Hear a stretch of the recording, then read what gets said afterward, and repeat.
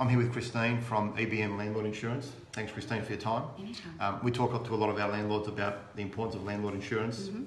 Some people still decide not to take it on. Mm. Um, we do really push it as a very important part of their investment package. Mm-hmm.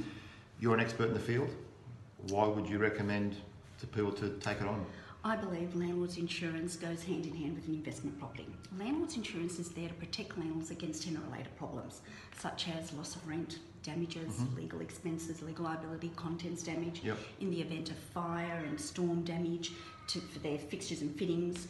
Um, Greg, it's very important that landlords understand that not all insurance policies are the same. Okay.